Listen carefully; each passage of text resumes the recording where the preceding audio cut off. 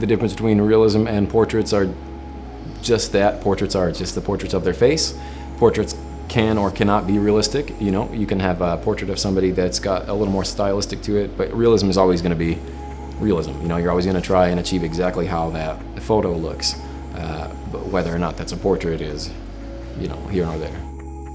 The hard part about it is you're only working off one or two photos, so you have a general idea of what this person looks like, but these people have known them their entire lives. So to give somebody that and and it actually look like the person uh, is really tough, you know, because you're only working with what you're given. I like uh, references with wrinkles, with facial structure, with highlights and shadows.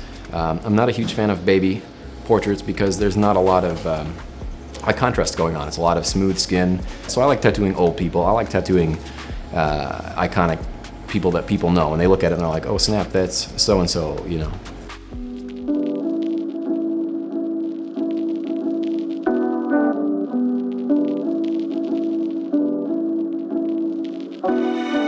I got into tattooing when I was 14 years old. My dad took me to a tattoo party and uh, he, they sat me down in the chair and they asked what I wanted and I had no idea so my dad said just put his initials on his arm.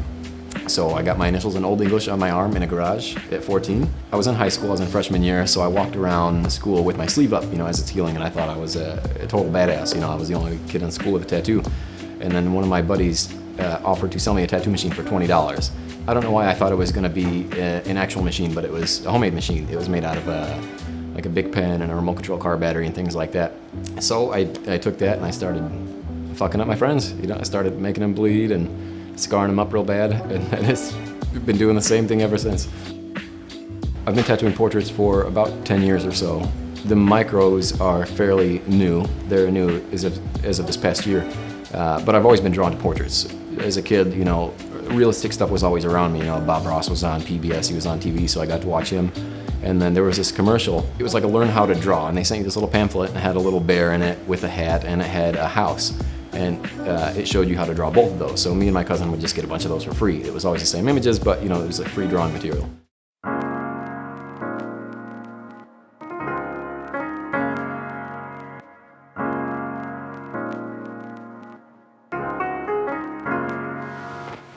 Usually my first step in creating a good portrait tattoo is finding a reference. You know, if you need to find a good reference, uh, and the more photos you have, obviously, the better, uh, you know, the better pick you have from. So the first step is to try and find a really nice photo with nice lighting, nice contrast, that's nice and clear. And then secondly, I'll load it into Photoshop and I or my iPad and I will desaturate it. I'll take all the color out and I'll play with the tonal variations. I'll bring out the darks, I'll add a little more extra uh, highlights in there just so it has a little bit more 3D structure. So I'll load in my reference into my tattoo stencil app, I'll press a button and my stencil's made.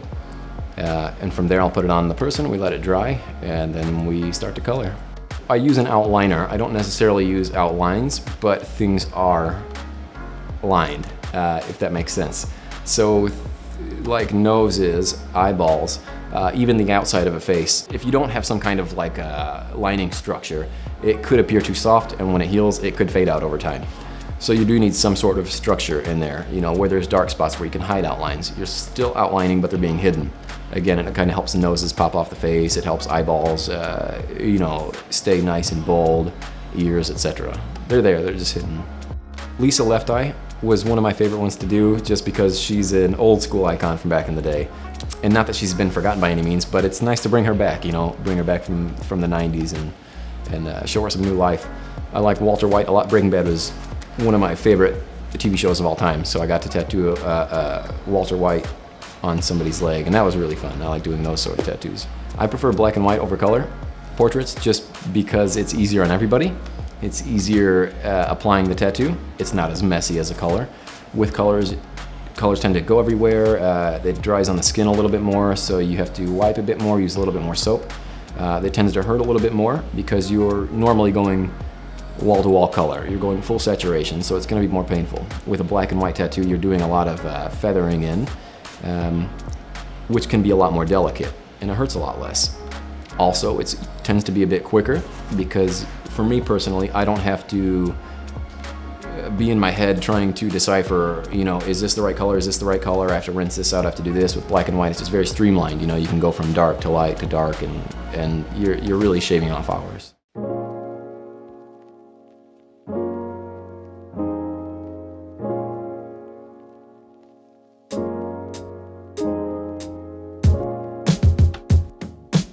How do you tell if somebody's a good portrait artist? I look, again, I'm looking for technical ability. I try to see like the needle marks that they have and, and, and see if it's really in the skin, you know, or if they're just shaping their tattoos with the redness of skin, you know, which means that they aren't going as deep as they should and they're just kind of um, like yeah, beating up the skin in a way that makes it look good, but when it heals, you're gonna lose all that because they're not punching it in as they should. When I first started getting into portraits was years ago, and of course Nikko Hurtado was uh, the first one that I saw doing that kind of work. It was a lot of color portraits and things like that. Uh, and then I saw Bob Tyrrell in a magazine and I saw what he was doing. And, I, and uh, Paul Booth, although they weren't necessarily portraits, he was doing a lot of like crazy, weird, realistic imagery. So I saw all these old school guys doing that stuff. Uh, Tom Renshaw uh, was another one. And at that time I realized that that can be done with a needle. You know, before I was just doing a lot of like bullshit, like let's get them in, get them out, and then I saw that stuff and I was like, holy cow, that's possible. You know, that's what I want to go for. I want to do the hard stuff. I want to do stuff that people are like, holy cow, that's amazing. I have one and a half portrait tattoos. I have a colored Robocop on my leg from Nikko, and my buddy Garrett Harper uh, is working on my grandma on my inner arm. But I'm not a huge fan of portrait tattoos myself. It's just something I like to do. I do want two little uh, Milli Vanilli tattoos somewhere. I think that'd be rad. So dark skin portraits can be a little tough. Uh, I have a general rule of thumb. I will just, instead of, of normal using four or five shades of black or tones of black, I'll use three. I keep it solid black, dark, and then there's a light shade. Um, it, it can be uh, a little challenging because you don't have the ultimate white, the ultimate highlight in there. You know, you're using their skin tone as the highlight, which if it's dark skin, you really have to bring the whole image down. You know, you have to uh, just really make sure everything is a lot deeper. Because if you were to tackle it the same way that you would tackle a normal portrait on pale skin, you're gonna end up with a very like washed out looking tattoo after it heals up. You know, it's not gonna have that, that strength that it needs. When it comes to longevity of tattoos and portraits, um, when people squeeze in a lot of details, I do sometimes think that those won't stick around forever. If they're done well, they can. However, I've been tattooing uh, a really long time and you can kind of see some things, how they come back in five, six, seven, eight, ten years, and you see what holds and what doesn't. So you see this in other people's work and you kind of just know to yourself that it's not going to last the way that it should. However, I would almost rather have uh, something that I could go back in and touch up in the future rather than something that's too dark, you know what I mean? So it's almost like a painting that's gotten a little bit older that could use a bit sprucing up, you know? So it's not necessarily a bad thing, um, especially when it's done like a painting. If it's not all finished in the first session, you go back in the second one and really tighten in details, making sure they stick, things like that. So I guess it just depends on the technical application of who's doing it working with portraits and trying to get it uh, as close to the image as possible, you know, I think is a really difficult task. So I like to take on the more difficult things, you know, and uh, see what comes of it.